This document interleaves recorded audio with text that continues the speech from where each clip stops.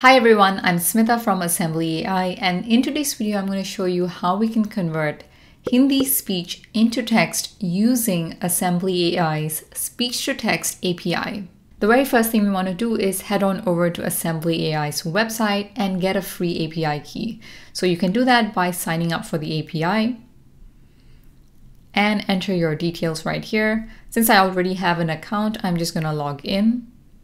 Once you're inside of your account, you should be able to see your API token right here, and you can easily copy it and paste it elsewhere.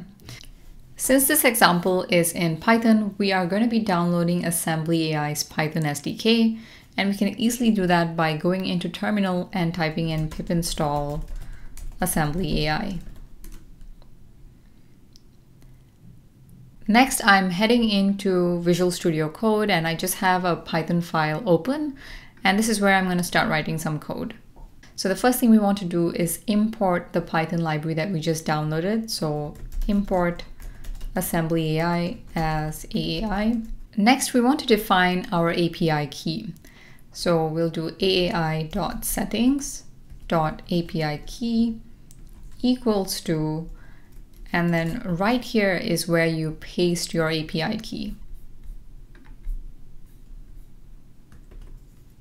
Once we've done that, let's define our audio URL. So audio URL equals to, I have downloaded this Hindi audio that I want to transcribe. So I'm just going to copy its relative path and paste it right here.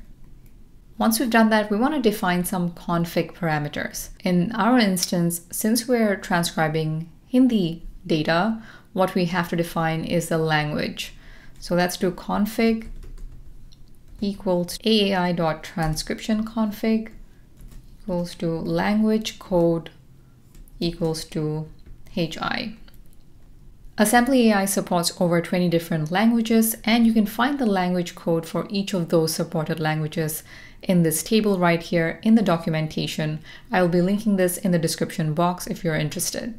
Once we've defined our transcription config, we want to set up our transcriber object. So let's do transcriber equals to ai.transcriber and define our config.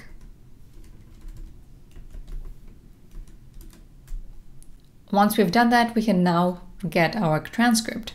So let's do transcript equals to transcriber dot transcribe and the input for the transcribe function will be the audio URL that we have created earlier. And lastly, what I want to do is I want to write out our transcript into this response.txt file that I created so it's easier to store our transcript. So to do that, we're going to do with open response.txt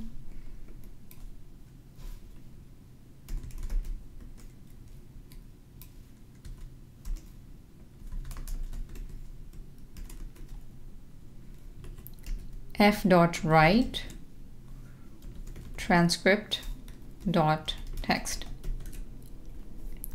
So transcript dot text contains the entire text of the transcript returned from Assembly AI's API. And with this method right here, what we're doing is we're writing it out into response.txt. Once you have all this, let's hit run. Once our script has completed running, we can click on that response.txt file. This right here is the transcription of Hindi speech to text from Assembly AI's API. Now there's so many other functions that you can do on top of this. For instance, what we can do next is get the subtitles of this file. So we can do that by doing f write and then transcript dot export subtitles. And there's two options for the file type, either VTT or SRT.